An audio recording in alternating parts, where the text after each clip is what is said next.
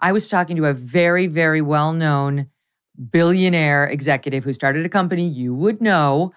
And she was telling me she's not going to go to that. They used to charge 30 grand a head for people like this billionaire to go. You make a donation, you help support the Met.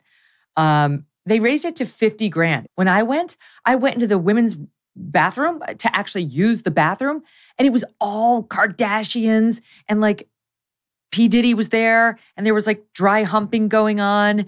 It was really gross and classless. And I thought, what am I doing here? All these women, these models were smoking in the bathroom of the Met.